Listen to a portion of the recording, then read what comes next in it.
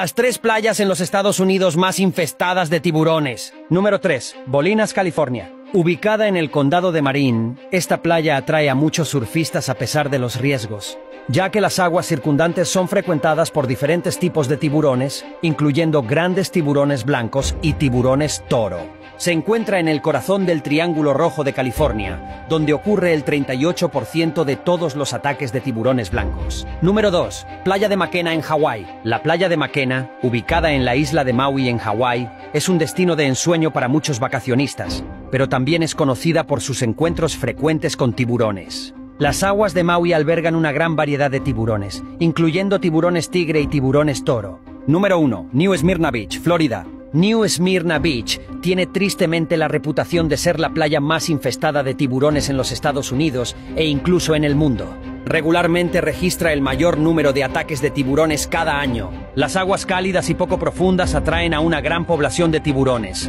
especialmente tiburones tigre y tiburones toro.